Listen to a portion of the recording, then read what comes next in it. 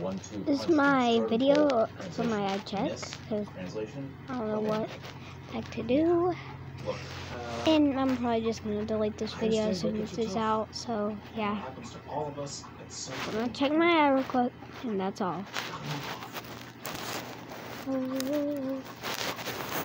for your advice.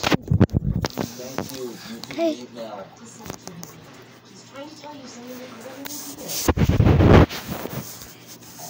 Perspective. Me. Well, I've been where you are now. I dated this girl, Alice, and it was an ugly breakup. She worked in a marketing agency right next to my house. I'd run